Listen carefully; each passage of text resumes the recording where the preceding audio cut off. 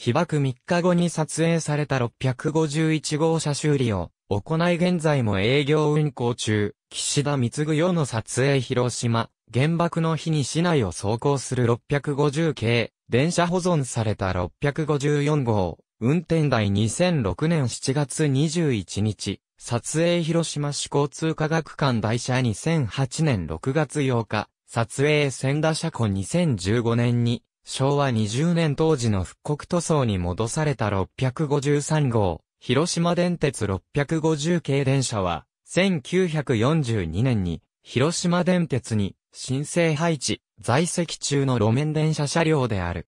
1945年8月6日午前8時15分の原子爆弾の投下で全車が焼損と全半壊しつつも3両が走り続ける被爆電車。被爆電車は150型も在籍する。反抗性のボギー車で1942年に木並車両製造で651から655の5両が製造された。車体はノーシルノーヘッダで窓配置は C3D4D4D。両端の扉は1枚引き戸、中央の扉は両回避、客用窓は2段式である。同メーカーで製造されたクレシデン600型と同型であり、大阪市電1651系の全長を短縮したものと言える。内装は木造にす塗りで美しく整備され、客用扉、窓枠は木製である。制御方式は、直接制御式で両端の運転台に KR-8 系制御機を搭載。制動は直通制動の SM-3 と、日本の路面電車では、標準的な装備である。台車はブリル 77E を装着している。台車の製造所には、各説あり、ファンの目で見た台車の話12私鉄編、ボギー台車その4には、可当性と記述がある一方、私鉄の車両3広島電鉄などには、ブリル製と記述があり、その場合600型とともに、中古品を調達して装備した可能性がある。これは、台車内側に、主電動機を吊りかける 77E は、極力短軸距を求めることの多い路面電車では、大阪市電や阪神国道線などの例はあるものの、外側吊り掛けの 76E などと比べあまり多く、見られる形式ではないこと。製造当時は、戦時下であり、新品の本形式を輸入することは、ほぼ不可能であったこと。車体は、低床仕様にもかかわらず、製造当時は、高床台車であったことなどによる。いずれにしても、郊外高速電車用の 27E や 27MCB2 などが純正及び、コピーともほぼ日本国内から一掃され、路面電車用としても希少となった今、現役のブリル系台車として貴重な存在である。木造車である旧大阪市電の300型や旧、京王電気軌道23型の500系統を除けば4輪単車ばかりであった中、エアブレーキを装備して、同社最大の輸送能力を有する高性ボギー車は、600型と共に大変近代的な車両として迎えられたと言われる。1945年8月6日の原子爆弾の10日で全車が被爆した。このうち651から654の4両は翌年3月までに原型に近い形で復旧したが655は被害程度が大きかったため同時期に車体申請された700型に似た張り上げ屋根、埋め込み全消灯となって1948年11月に営業運転に復帰した。1953年に低消化されている。655は1967年1月25日、大型トラックとの衝突事故により、大破、同年3月31日に廃車された。残る4両は1975年にワンマン化改造され、同時に最後部扉の閉鎖と座席の延長が行われた。1982年には方向幕の電動大型化、1986年7月には冷房化がなされた。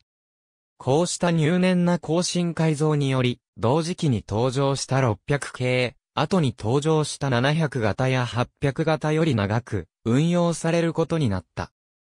1985年頃から報道などにより、被爆電車として注目されるようになるが、大型連接車の導入や高性能化が進んだ2000年頃になると、相対的に収容力が劣る上に最高時速 35km 程度しか出せない当社は予備的存在となっていた。2003年8月に広島テレビの原爆の日の特別番組の予告が地元タウン市に載った際、統計式が2004年春に引退予定である旨が掲載され、この時は広島電鉄側は否定したが、結局5100系の増備に伴い、2006年6月26日のダイヤ改正をもって653号654号の2両が定期運用を離脱した。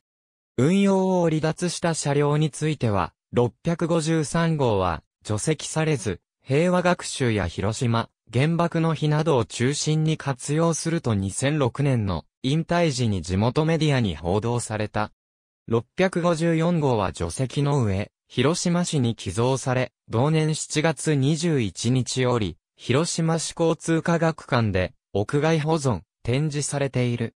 残存した651号と652号の2両は、主に平日の朝ラッシュ時などに1.35.7号線で営業運転している。現在、終電装置は Z パンタで車体中央の屋上に装備されているが、申請当初はビューゲルだった。なお、被爆時の状況などを一両ごとに解説した説明書650系電車の由来が車内の運転代行部に掲げられている。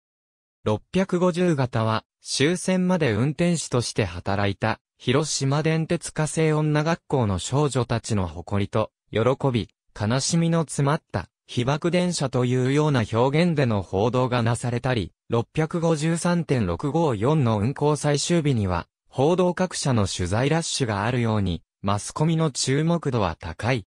所有者の広島電鉄側も、653.654最終運行時には記念のヘッドマークを取り付けたり、2006年に被爆電車へのメッセージを募集して651.65に車内に掲出している。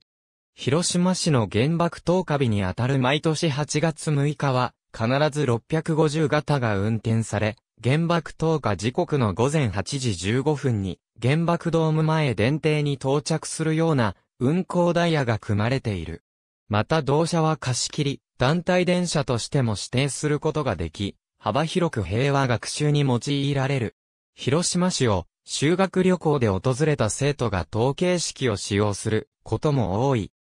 また、毎年8月6日前後には、650系の車内で、被爆者から証言を聞くといった、被爆体験の後世への継承も行われている。書籍になっている原作では別の電車が描かれていたが、2007年公開の映画、夕凪の松桜の国にも統計式が登場している。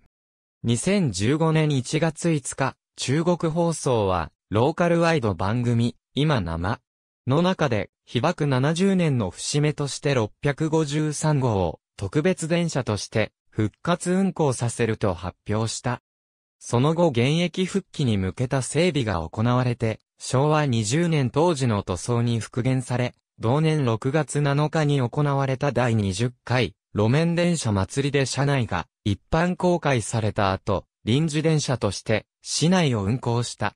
RCC は広島電鉄との共同展開で被爆者の方々の証言、広島のそれぞれの街での復興エピソードなど、車内に特別に設置した大型モニタースピーカーから、その街に応じた映像、音声を届けながら、広島の街を走る。期間は、2015年6月から8月末の土曜日、日曜日祝日。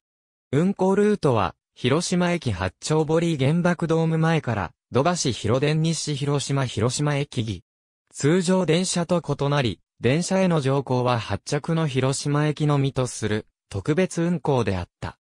被爆電車特別運行プロジェクトは2015年10月に国土交通省の第14回日本鉄道賞特別賞を受賞した。三菱電機の直流交流変換駆動方式 CU77 英州中型